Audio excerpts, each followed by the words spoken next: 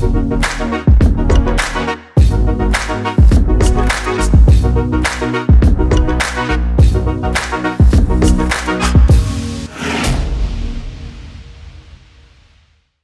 to Engineer's Kitchen.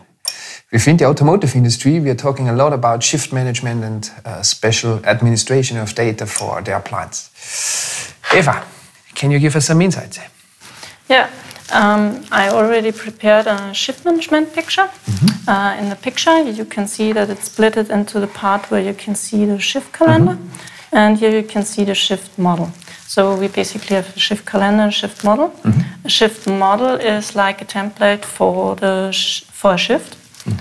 So if we open it, you can see that there are already three shifts prepared in the model. Mm -hmm. It's predefined. Yeah.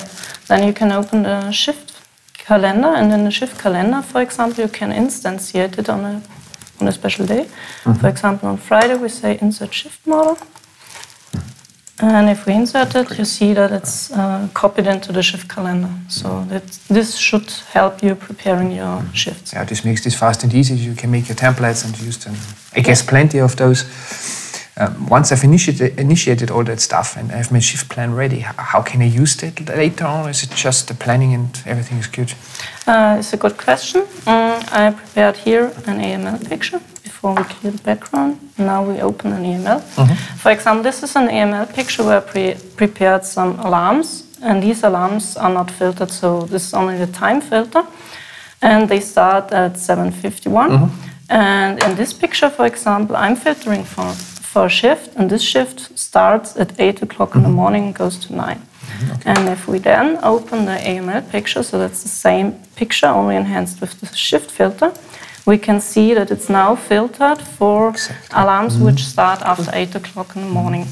Mm, I can also see the total amount is less compared to the other ones. Yeah, here we have really 54 and here great. we have 23. So we can only see that the time filter is adapted from 8 to 9 oh, cool. by the shift. Automatically, fully mm -hmm. automatically. Mm -hmm. And the same we also can do at uh, ETM. For example, here we have an ETM with all data. And if we then open an ETM with shift filter, it, same shift filter again. Yeah, uh -huh. we have a shift which uh, starts at 1540. Mm -hmm. And if we open the picture, we see that only this part is now in the shift, and therefore the part left from it is filtered. So you can precisely analyze how well my morning shift or whoever was performing and, and see the figure for this. Yeah. Very impressive, very impressive. Great. So, but the trend as such has no uh, limitations, so you can zoom and scroll and all that stuff is yeah. there. So, so it's, it's, full working tools like we have known it. Mm -hmm. It's just a, a, new filtering concept, yeah. As you can see, it's only the shift is only uh, modifying the time filter. So the time filter is modified, but you have the full functionality of a normal EPTM. It's only helping you with filtering. Great. very impressive, very very smooth integration. Um, what about our, our, other tools from, from COPA-DATA, like the zenon Analyzer? Is this information also available there? Yeah, the zenon Analyzer can also filter for shifts. Mm -hmm. So we have integrated that, and this should prepare uh, the projects to be analyzed in detail. So mm. for customers, it should be easy to, to do some detailed filtering and analyze. Great, great. Thanks, Eva. As a small present, a small thank you from us, uh, one of our T-shirts ah, cool. from the Engineer's Kitchen. Thank you. I hope we'll see you soon again on one of another episode.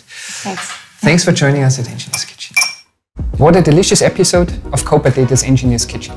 If you are still hungry, please subscribe to our YouTube channel.